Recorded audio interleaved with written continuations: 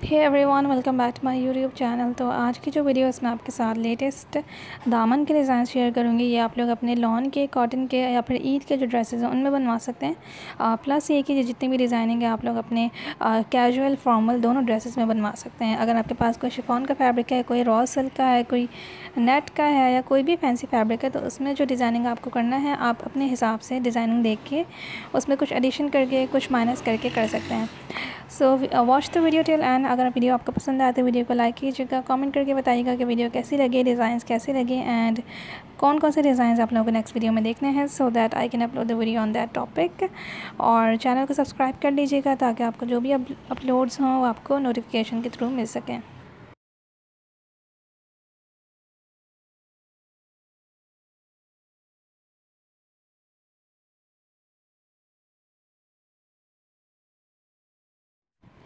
So all of these design are very pretty very new और इनको design के लिए आप लोगों को सिंपली फैब्रिक ही चाहिए। कुछ डिज़ाइन ऐसे हैं जो कि डिटेल्ड हैं, उनमें आप लोग लेसेस भी यूज़ कर सकते हैं।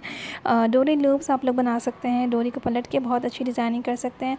साथ में सेंट्रल लेसेस यूज़ करें पम पम यूज़ करें टैसल्स आते हैं मार्केट में आप लोग वो लेके अटैच कर सकते हैं। इसके अलावा आप लोग जो है पर्स और बीड्स वगैरह भी अटैच कर सकते हैं। और अगर आपके पास ऑर्गेन्जा का फैब्रिक है टिशू का फैब्रिक है तो आप लोग वो यूटिलाइज़ कर सकते हैं। There are so many ways जिसके थ्रू आप लोग डिज़ाइनिंग कर सकते हैं। अगर आपके पास कोई भी एक्सेसरीज़ नहीं है तो सिंपली आप लोग जो है फैब्रिक यूज़ कर लें और बहुत अच्छे आप लोग डिज़ाइनिंग उससे भी कर सकते हैं।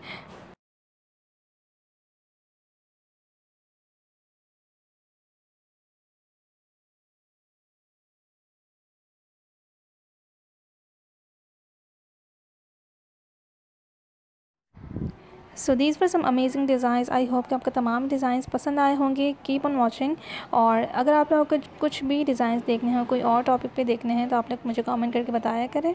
आप लोग मुझे इंस्टाग्राम पे भी फॉलो कर सकते हैं. It's at the right mouse dot corner so see you the next video till then take care and don't forget to subscribe to the channel